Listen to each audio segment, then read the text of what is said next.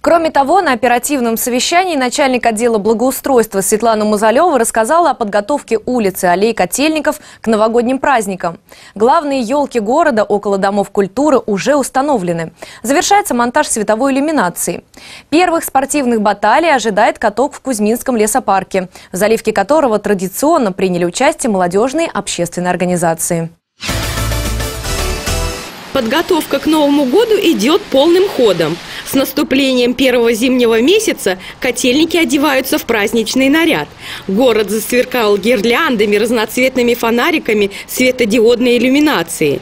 По распоряжению руководителя администрации Ирины Польниковой на улице Новой, 14, у ДК «Силикат» и «Белая дача», а также клуба «Надежда» установили 9-метровые елки. Традиционно украсили и живые ели у школы номер 2 и магазина «Яблонька». Также будут э, повешены растяжки вдоль Дзержинского шоссе. Это надписи «С Новым годом», «Снежинки».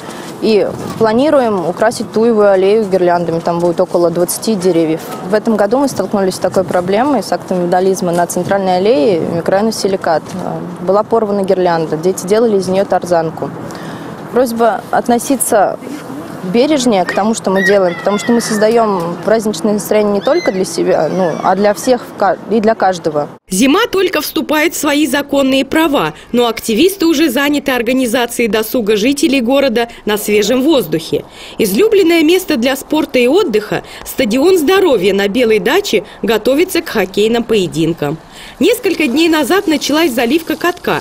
В мероприятии приняли участие неравнодушные граждане во главе с председателем местного отделения общественной организации «Молодая гвардия Единой России» Александром Самохиным. Самое сложное заключается в том, что это нужно делать практически ежедневно. Особенно вот сейчас, когда мы начали ее заливать, мы должны каждый день сюда приходить э, по вечерам и заливать, заливать, заливать, пока не будет основы. Тогда уже можно будет раза два в неделю проливать уже слегка сверху слой, только э, чтобы он был качественный. Здесь э, совершенно разные ребята собираются. Э, есть и совсем подрастающее поколение, это школьники, есть и студенты. Среди нас есть люди уже в возрасте, просто те люди, которым не безразлична судьба нашего города, которые хотят Э, тратить свое время э, ради общества, ради своего любимого города. Хоть это и тяжелый труд, но он приятный, потому что э, ты понимаешь, то, что после того, как ты этот каток залил, сюда придут другие люди со своими семьями, они тут будут развлекаться, кататься, Э, кататься на коньках, играть в хоккей. Стоит отметить, что каток начал свою работу еще в 2010 году. Уже пять лет на этой площадке собираются профессиональные спортсмены, хоккеисты и просто любители активного отдыха. Ежегодно проходят соревнования на Кубок главы, молодой гвардии, а также состязания «Растопи лед», которые посещают не только жители нашего города, но и Москвы и Подмосковья.